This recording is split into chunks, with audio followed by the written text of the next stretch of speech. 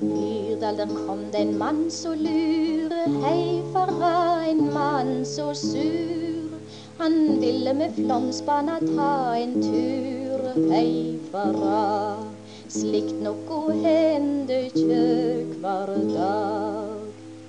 På vatnahalsen der er det et lag, hei fara, en femmann i lag, som spela poker den heile dag. Hei er god å ha. På hylla der er ei utsikt så fæle, hei fara, en vert mest sel. Der ser en lukst ned i heitaste hel, Heil og sel, ei kyr datt ned og slo seg i hel. Så kom vi inn i den vendetunnelen, hei fara for ein karusell.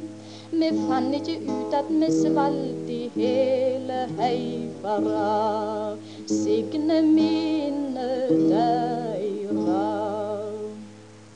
På Kjosefossen eg seier deg, hei fara, ja trur du kje meg? Står verket på dammen og speglar seg, hei fara.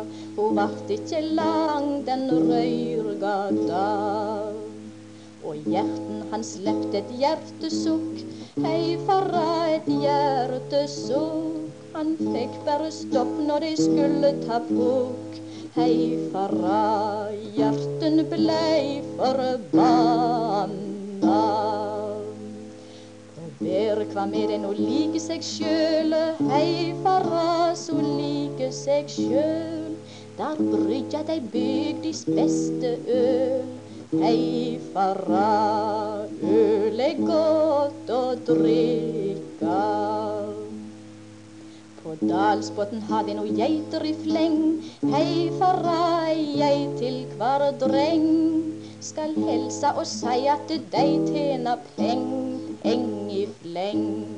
I pungen, såkjen og i seng. Han lauset jo satt på hårene, hei fara, på et veatre.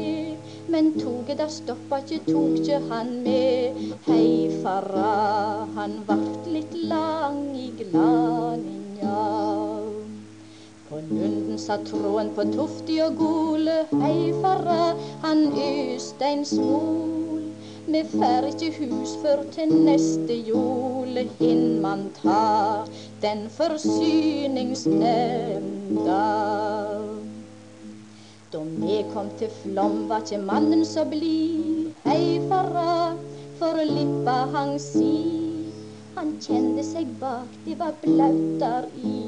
Hei fari, han hadde drete i brokja si.